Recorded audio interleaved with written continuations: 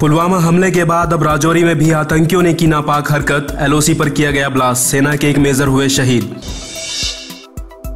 पुलवामा आतंकी हमले में शहीद जवानों को उनके पैतृक गाँवों में नम आँखों से दी गई अंतिम विदाई। देश भर में शहीदों को किया गया नमन। राजस्थान के पोखरण में वायुसेना का युद्धाभ्यास शुरू। एयर चीफ वीरेंद्र सिंह धनोआ ने कहा कि हम हर तरह की कार्रवाई के लिए तैयार। पुलवामा आतंकी हमले पर महाराष्ट्र में बोले पीएम मोदी कहा जवानों का बलिदान नहीं जाएगा व्यर्थ। सुरक्षा बलों को दी गई खुली कार्रवाई की छूट। और इसलिए सुरक्षा बलों को खुली छूट दे दी गई है।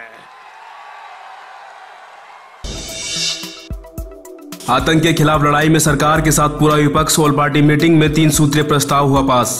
हम देश की एकता के लिए देश की अखंडता के लिए देश की सुरक्षा के लिए जनता की सुरक्षा के लिए सिक्योरिटी फोर्सेस की सुरक्षा के लिए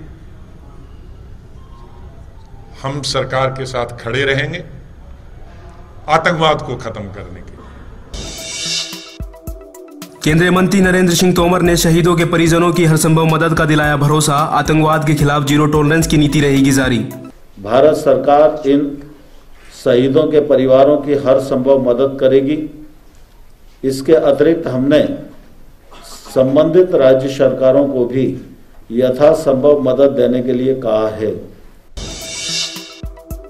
पुलवामा के शहीद जवानों को श्रद्धांजलि देने कोलकाता की सड़कों पर उतरे हज़ारों लोग। कैंडल मार्च में सीएम ममता बनर्जी भी हुई शामिल। मुजफ्फरपुर शेल्टर होम मामले में सीएम नीतीश कुमार के खिलाफ होगी सीबीआई जाँच। पोस्को कोर्ट ने पटना के सीबीआई एसपी को दिए जाँच के आदेश। विदर्भ की टीम ने शेष भारत के खिलाफ पहली पारी में बढ़त के आधार पर दूसरी बार जीता ईरानी कप।